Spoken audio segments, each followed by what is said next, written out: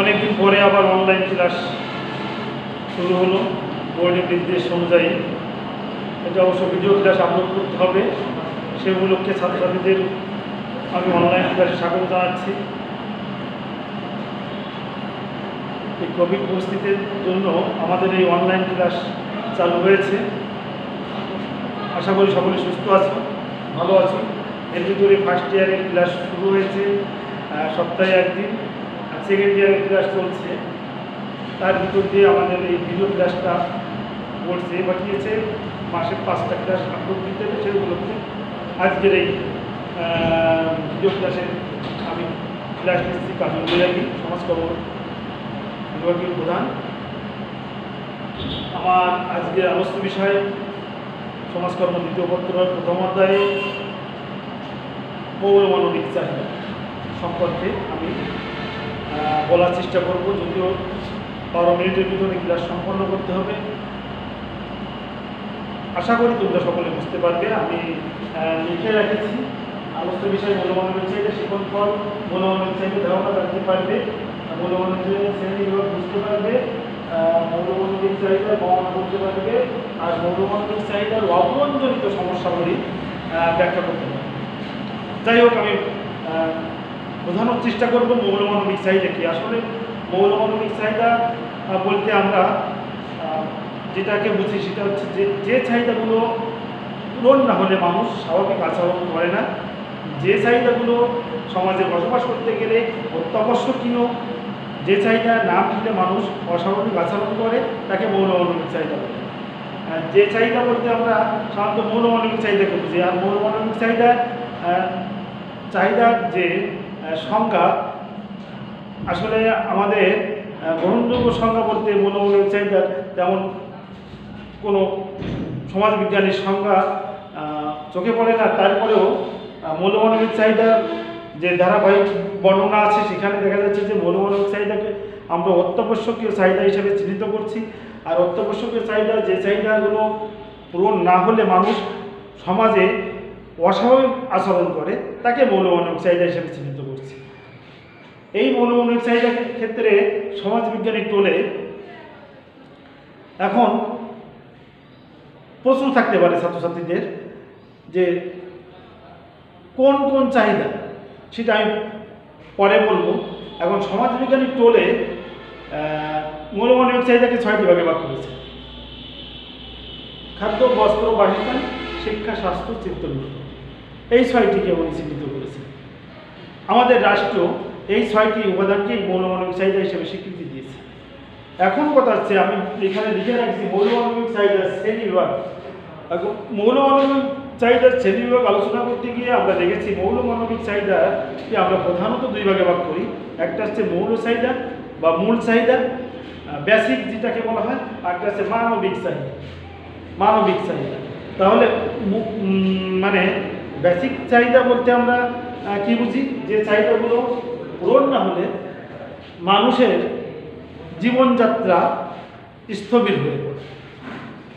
বা এই চাহিদাগুলোকে আমরা মৌলিক চাহিদা বলি। মৌলিক চাহিদার ক্ষেত্রে দেখা গেছে যে আমরা বইতে দেখেছি যে মৌলিক চাহিদা তিনটি। মানব জীবনে মৌলিক চাহিদাকে আমরা তিনটি ভাগে ভাগ করেছে, সেটা হচ্ছে খাদ্য, ঘুম এবং যৌন প্রবৃত্তি। আর মানবিক চাহিদার ক্ষেত্রে দেখা গেছে বাদ বাকি সকল চাহিদা। যেমন বস্ত্র, বাসস্থান, শিক্ষা, স্বাস্থ্য, চিত্ত বিনোদন, তারপরে পানীয় জল যেটাকে বলছে, আবার এখানে নিরাপত্তা নিয়ে এসছে। অনেক ক্ষেত্রে আরও আরও অনেকগুলো স্যানিটেশনের কথা বলছে অনেকেই। এখন দেখা যাচ্ছে যে মানবিক চাহিদার ক্ষেত্রে অনেক চাহিদা এখানে ইনক্লুড হতে পারে। সেক্ষেত্রে আমরা সমাজবিজ্ঞানী টোলের যে সংখ্যাটা রাষ্ট্র কর্তৃক স্বীকৃত, সেটাকে আমরা গ্রহণ করব। অতএব আমরা প্রথমত দেখছি মৌলমানবিক চাহিদাকে দুই ভাগে ভাগ করা যায়। একটা হচ্ছে মূল চাই, মৌল মৌল চাহিদা, একটা হচ্ছে মানবিক চাহিদা। মৌল চাহিদাকে তিন ভাগে ভাগ করেছি, একটা হচ্ছে ঘুম মানে খাদ্য ঘুম যৌন প্রবৃত্তি। দ্বিতীয়টা হচ্ছে মানবিক চাহিদা, সেটা হচ্ছে বস্ত্র, বাসস্থান, শিক্ষা, স্বাস্থ্য, চিত্ত, বিনোদন। এই পাঁচটি। আনুষঙ্গিক আরও অনেকগুলো চাহিদা এখানে ইনক্লুড হতে পারে।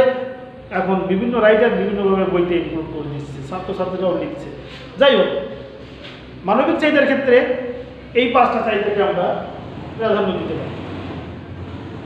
এখন দেখা যাচ্ছে যে মৌলমানবিক চাহিদার বর্ণনা, আমরা যদি মৌলমানবিক চাহিদার বর্ণনা দিতে যাই, তাহলে রাষ্ট্রপতি স্বীকৃত এবং সমাজের মানুষ যেটা গ্রহণ করেছে, ছয়টি ভাগে ভাগ করেছে মৌলমানবিক চাহিদাকে, সেই ছয়টিকে আমরা বর্ণনা করতে পারব। ছাত্রছাত্রীরা অবশ্যই বর্ণনা করতে পারে খাদ্য। খাদ্য খাদ্যকে যদি আমি বর্ণনা করতে যাই, মানুষের জীবনের প্রধান এবং প্রথম যে চাহিদা সেটা হচ্ছে ক্ষুধা নিবৃত্তির জন্য খাদ্য। খাদ্য বলতে আমরা সুষম খাদ্যকে বুঝি। এখন ক্ষুধা নিবৃত্তির জন্য যাই খাই, তাকে আমরা খাদ্য হিসেবে চিহ্নিত করি। এখন খাদ্য বলতে আমরা অবশ্যই সুষম খাদ্যকে বুঝব। আর সুষম খাদ্য হইতে গেলে এর সুষম খাদ্যের আবার কয়টা উপাদান আছে।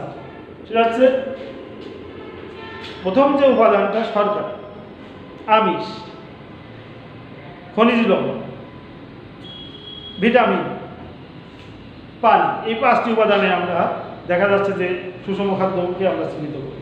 যাই হোক, তাহলে খাদ্য খাদ্য যদি পুরো পেটে যদি বোঝা থাকে, তাহলে পৃথিবীতে অন্য কোনো চিন্তা, উন্নয়নমূলক কোনো চিন্তা কেউ করতে পারে না।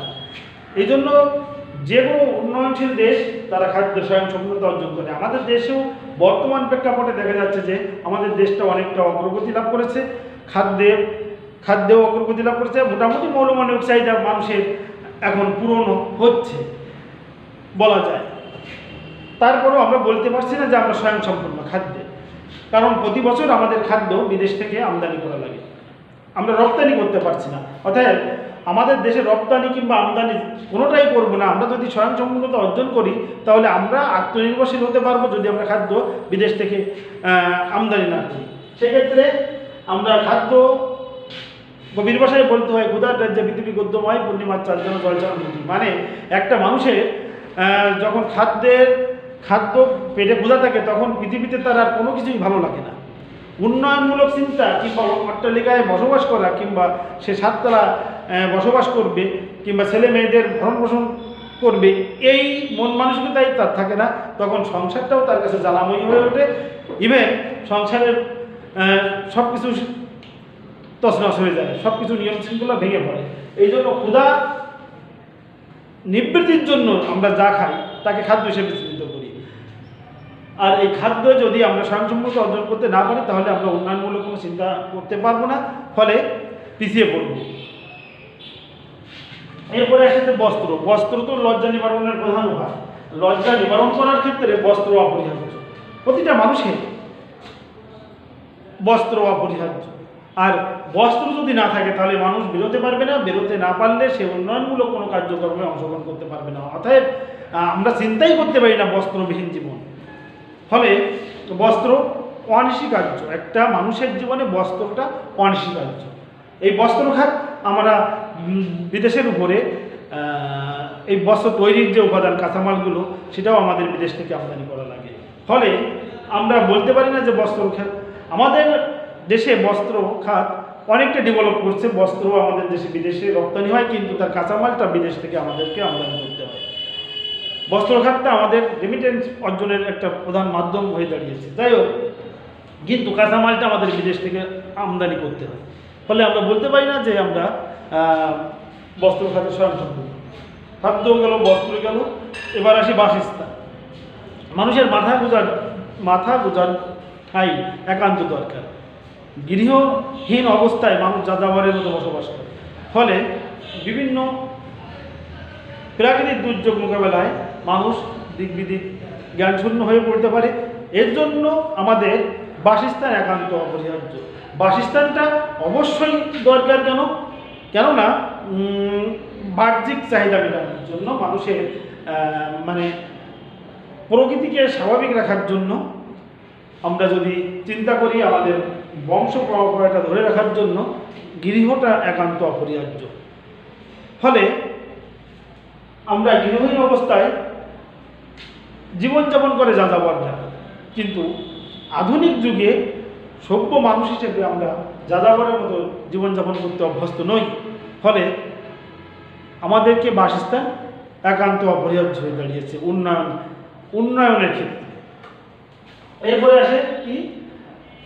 চার নম্বর পয়েন্টটা আসে শিক্ষা, খাদ্য, বস্ত্র, বাসস্থান শিক্ষা। শিক্ষাই জাতির মেরুদণ্ড আমরা বলে থাকি এবং সমাজে প্রবাদ প্রবচন হয়ে গেছে করব। প্রবাদ প্রবচন হয়ে আছে, শিক্ষাই জাতির মেরুদণ্ড। মেরুদণ্ডহীন মানুষ কখনো টানা হয়ে দাঁড়াতে পারে না। তা আমরা শিক্ষাকে মেরুদণ্ডের সঙ্গে তুলনা করছি। কারণ এই শিক্ষাই আমাদেরকে উন্নয়নের উচ্চ শিকারে পৌঁছে দিতে পারে। শিক্ষাহীন জাতি অন্ধকারাচ্ছন্ন যুগে বসবাস করে। শিক্ষাহীন জাতি পৃথিবীর ভালো এবং মন্দ কোনো কিছুই বুঝতে অক্ষম। ফলে শিক্ষা ছাড়া জীবন আমরা চিন্তাই করতে পারি না। প্রশ্ন আসবে সাথে সাথে। তাহলে স্যার, যারা অশিক্ষিত, আসলে অশিক্ষিত বলতে আমরা কাদেরকে বুঝি? অক্ষর জ্ঞান শূন্য ব্যক্তিদেরকে বুঝি। তো বর্তমান প্রেক্ষাপটে অক্ষর জ্ঞান শূন্যহীন মানুষকে খুব কম আমাদের দেশে মেলে। যাই হোক, এরপরে আসি স্বাস্থ্য। স্বাস্থ্যই সকল সুখের মূল। আর একটা প্রশ্ন যদি স্বাস্থ্য ভালো না থাকে, তাহলে আমরা কোনো কাজেই মনোনিবেশ করতে পারব না। কোনো কাজেই মনোনিবেশ করতে পারব না, ফলে আমরা পিছিয়ে পড়ব। তাই স্বাস্থ্যকে ঠিক রাখার জন্য বর্তমান সরকার প্রত্যেকটা ওয়ার্ড পর্যায়ে স্বাস্থ্যসেবা কেন্দ্র গড়ে তুলেছে, যাতে অল্প সময়ে, অল্প খরচে মানুষ স্বাস্থ্য সেবা পেতে পারে। যাই হোক, এরপরে আসে চিত্ত বিনোদন। একঘেয়েমি কাজকে একঘেয়েমি, জীবনের একঘেয়েমি দূর করার জন্য চিত্ত বিনোদন অপরিহার্য।